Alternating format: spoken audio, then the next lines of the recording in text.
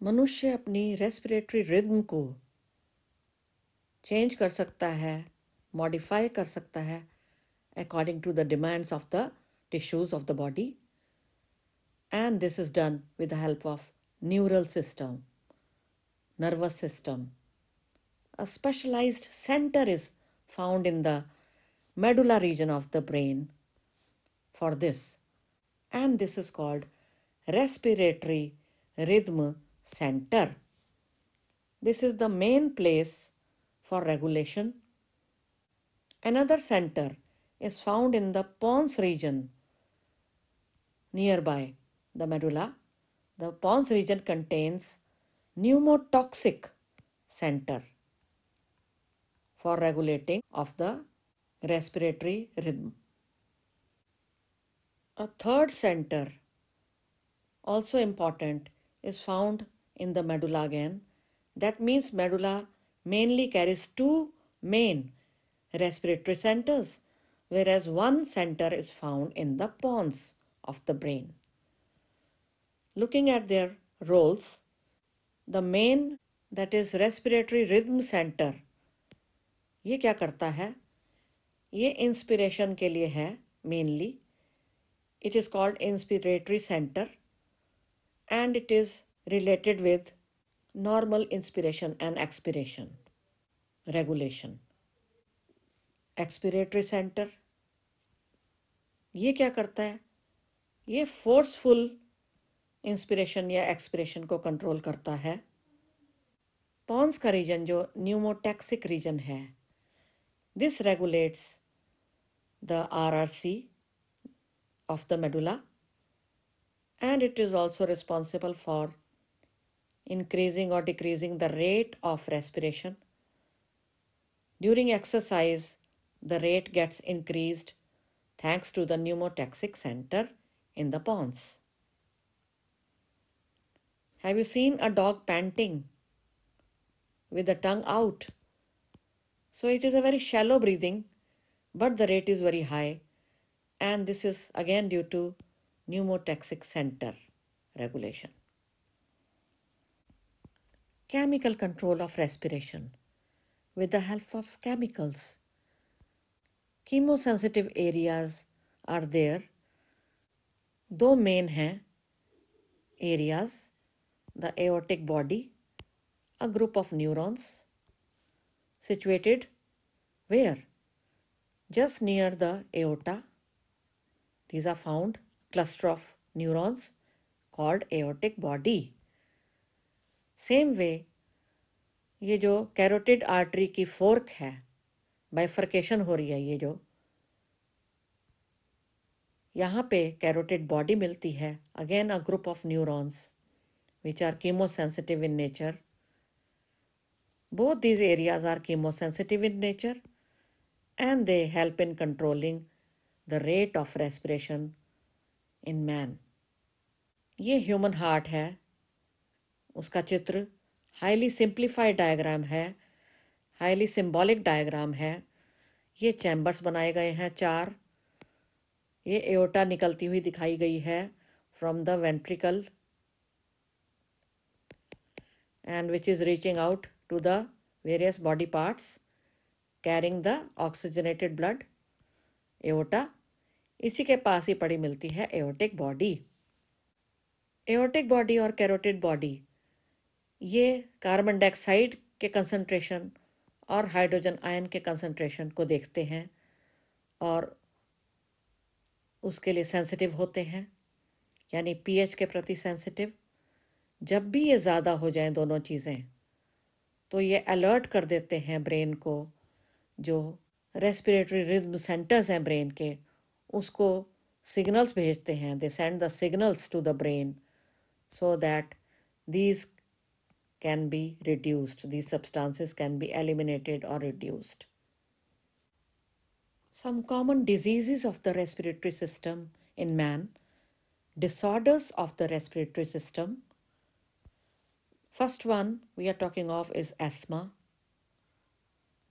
asthma yani dama T silent बोलते हैं यहाँ पे एजमा दमा बहुत डेंजरस रोग है इसमें सिम्टम्स हैं वीजिंग कि एक छाती से आवाज़ सी निकलती है from the chest there is a particular sound breathing difficult हो जाती है. सांस लेना बहुत मुश्किल.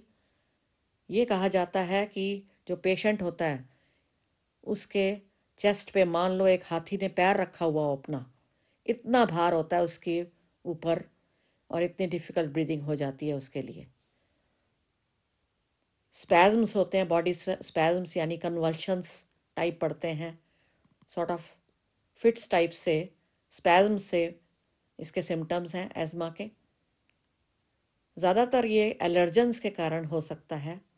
पॉलन ग्रेन्स डस्ट से हो सकता है एलर्जेंस ब्रोंकाई और ब्रोंकियोल्स उनके इन्फ्लेमेशन से, उनकी सूजन से क्या होता है कि नैरोइंग हो जाती है पैसेज नैरो डाउन हो जाएगा तो सांस लेना दिक्कत होएगा डिफ़िकल्ट ब्रीदिंग हो जाएगी।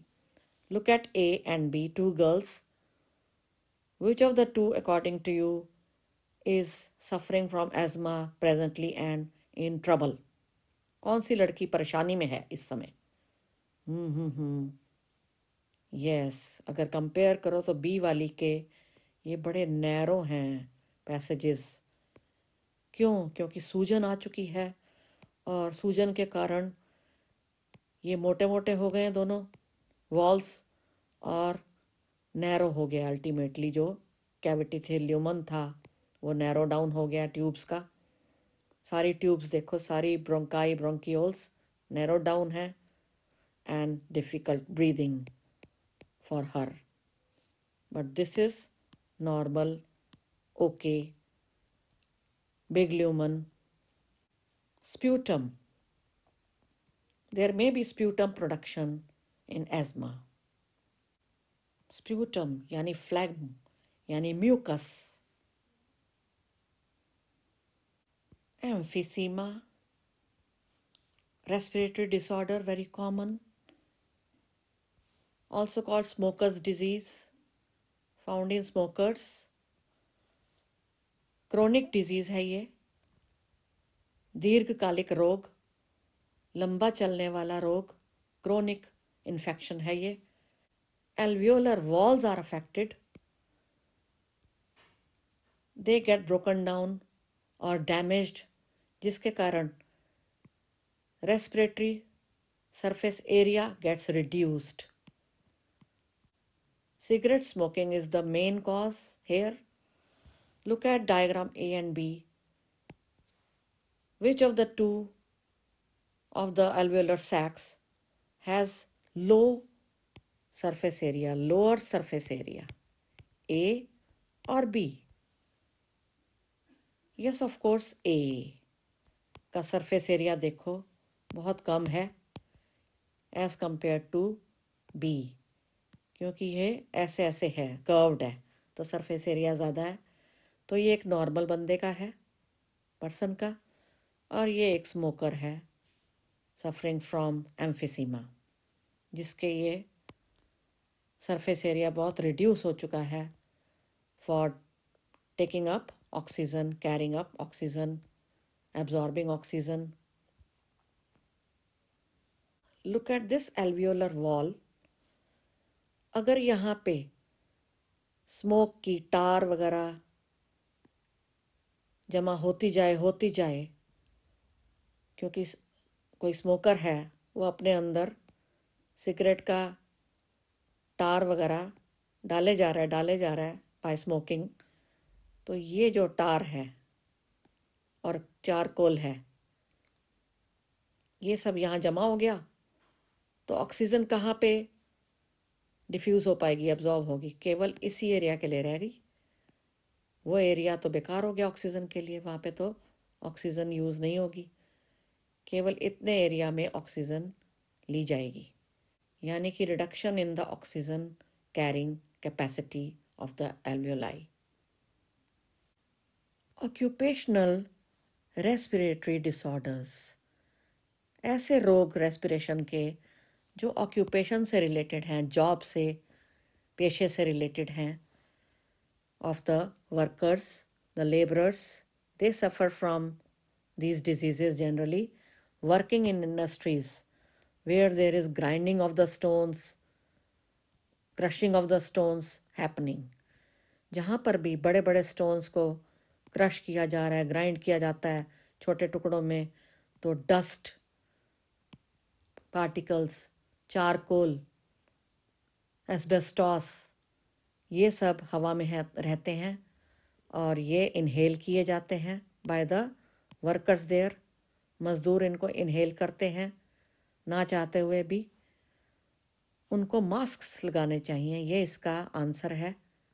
To prevent these disorders they must use the mask so long exposure to The dust etcetera the body cannot cope with this the defense mechanism fails here, this gives rise to inflammation of the passages leading to fibrosis, that is, increase in the fibrous tissue of the respiratory system. Serious lung damage ho jayega isse.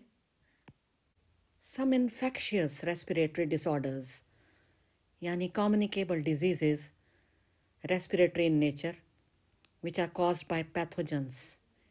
It could be bacteria, it could be a virus causing the disease. TB, tuberculosis, pertussis, whooping cough, pneumonia, and diphtheria. All these are caused by bacteria they are bacterial diseases, acute disorders which can infect a healthy person from an infected one. Some chronic, non pathogenic, non infectious respiratory disorders are tumors, it could be lung cancer, due to carcinogens. The chemicals which are responsible for cancers are called carcinogens. One important carcinogen here is benzpyrene, produced from the tobacco smoke. This causes lung cancer in man. Some very common, very prevalent disorders called allergies. What is this? An allergy. It is the hypersensitivity of a person to certain allergens or allergen. It could be a dust particle, the allergen. Smoke could be an allergen for some people. Wheat protein, wheat may cause allergy to some. Milk protein may cause allergy to the others.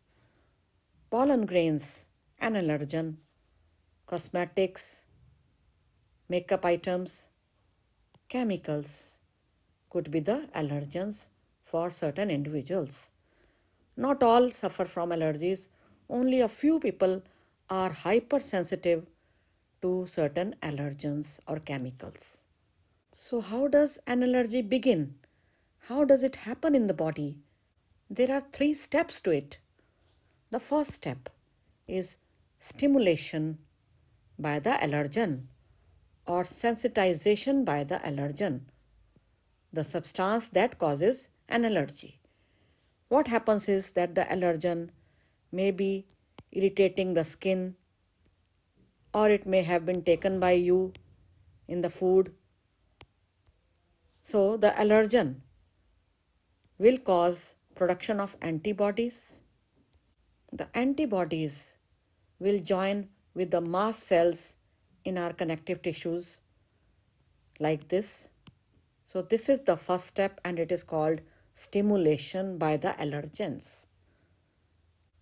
The second step is the second stimulation now by an allergen. So whenever the person comes in contact or gets exposed to the same allergen later on in life, after some time, what happens is that the antibodies are already there. which have joined with the mast cell. The two are binding together. So the allergen will now enter in the body and attach with these mast cells carrying the antibodies on them. And look, here it is joined with the mast cell and this will lead to the rupturing, the destruction, the breaking up of the mast cell. The third step, the broken mast cells will release a chemical, a protein, the histamine, which will finally lead to the irritation reaction, the allergic reaction will be produced by this chemical, the histamine produced by the broken mast cells. तो ये histamine से ही आपको irritation होगी, या आपका runny nose होगा, या watery eyes हो जाएँगी, या आपको बहुत छींकी आएँगी स्नीजिंग होगा, खूब खांसी कफिंग इन्फ्लेमेशन सूजन किसी पार्ट की फीवर हो जाएगा, जैसे कि हे फीवर ये एक पर्टिकुलर नेम है डिज़ीज़ का एलर्जी का due to pollen grain pollen grain की एनर्जी को एक नाम दिया हुआ है, हे फीवर तो ये सारे सिम्टम्स हो जाएँगे। हिस्टेमिन रिलीज़ होगा this is the third step in an allergic reaction calculation of the changes in the lung volumes in the volume of air in the lungs is called spirometry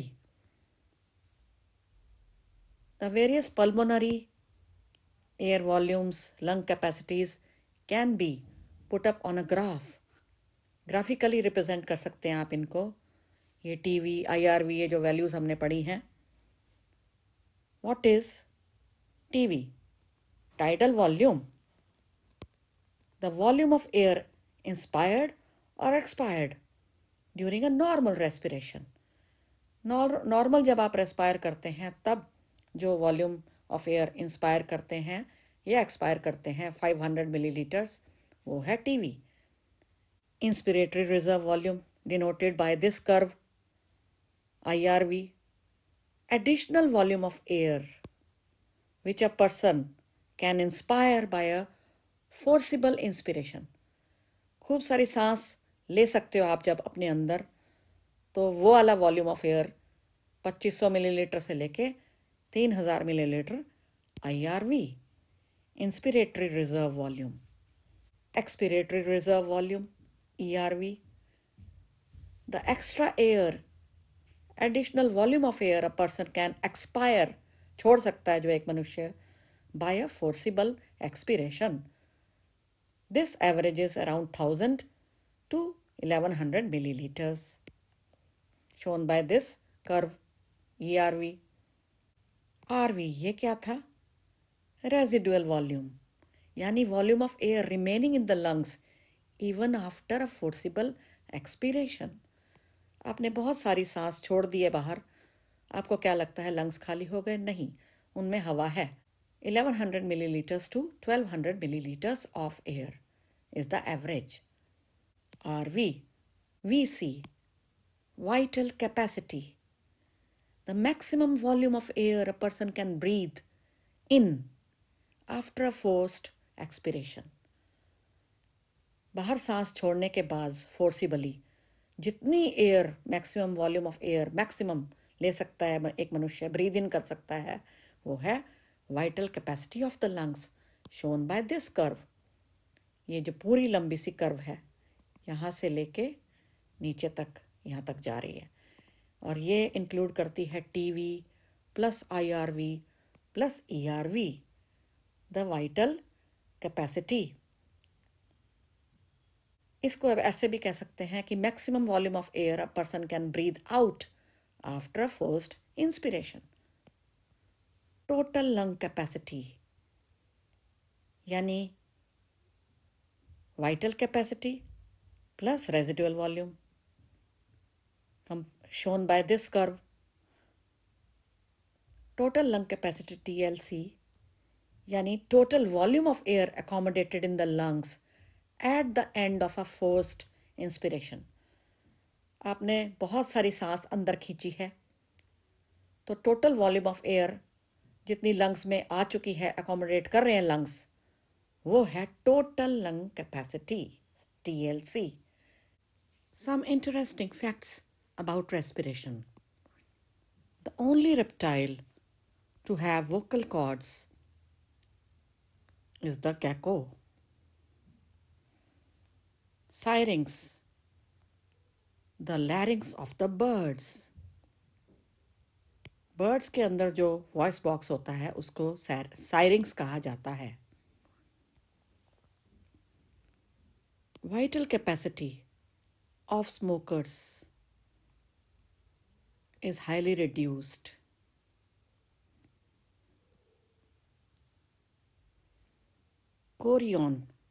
is a membrane extra embryonic membrane found in the foetus इसको foetal lung भी कहा जाता है, क्योंकि यही वो membrane है जो एक्सचेंज ऑफ़ गैसेस कराती है फीटस में.